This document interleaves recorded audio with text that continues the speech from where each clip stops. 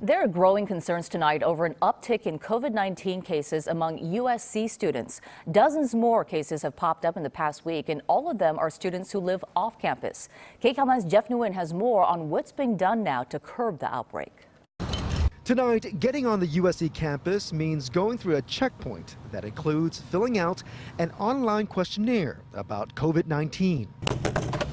Second year student Garrett Murphy can tell you why the precautions are so important. Uh, I actually ended up getting it in June. And he wasn't the only one. The university says in the past seven days, 43 cases have been identified and more than 100 students have been placed on quarantine, all of them from off campus housing. I have a couple friends who are sick and they're um, isolating and quarantining and staying safe. So I think everyone's kind of on the same page that we got to work together to get through it.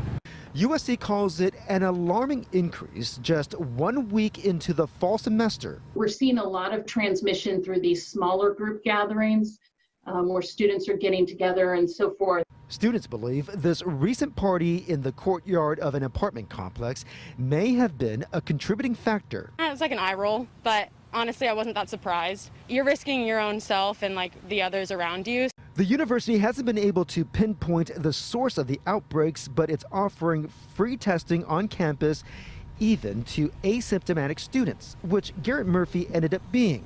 He had to quarantine at the USC hotel to protect his six roommates. You just like don't want to be the person that's causing harm to somebody else. Just be careful and uh, look out for fellow students and you know, our LA population for sure.